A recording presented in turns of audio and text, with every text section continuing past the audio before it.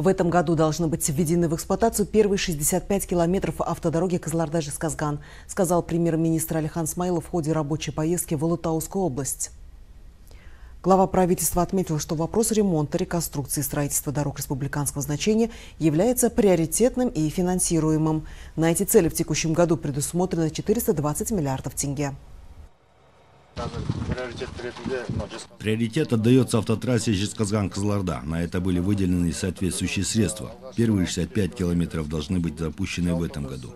Сейчас мы ставим на первое место вопрос ремонта, реконструкции и строительства дорог республиканского значения. Для этого выделяются соответствующие средства. На эти цели будет выделено около 420 миллиардов тенге и отремонтировано 3600 километров дорог, в том числе автотрасса Джисказган-Кызларда.